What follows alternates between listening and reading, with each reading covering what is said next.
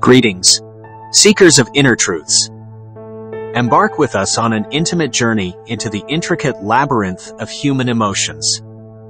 Just as a single drop in water creates ripples that spread far and wide, our emotions, though ephemeral, have the power to shape, define, and transform our entire existence.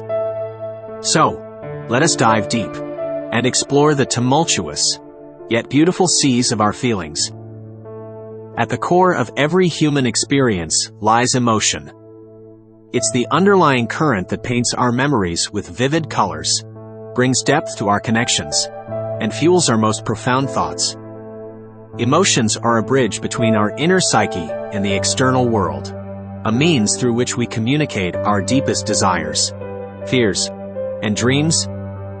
Philosophers of ancient times often pondered the nature of emotions, questioning their origins and purposes. Are they mere biochemical reactions? Or do they hold a deeper, more spiritual significance? While science can dissect the mechanics of feeling, the essence of emotions remains an enigma, transcending mere molecular interactions. In various cultures and civilizations, emotions were seen as gifts, divine whispers that provided guidance, insight, and a deeper connection to the universe. They became the muses for artists, the driving force behind revolutions, and the silent anchors in times of turmoil. Yet, as powerful and consuming as emotions can be, they are also fleeting. Like the seasons, they ebb and flow, reminding us of the transient nature of existence.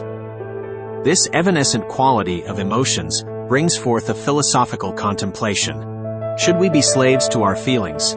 Or should we strive for a detached mastery over them? Moreover, emotions aren't just personal experiences.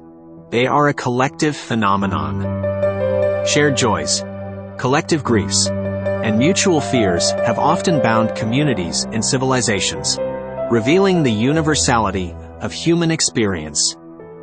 Emotions, in this light, are the threads weaving the tapestry of shared human existence. Reflecting on our emotions is akin to looking into a mirror. It's an intimate self-exploration, leading to revelations about our deepest motivations, desires, and fears.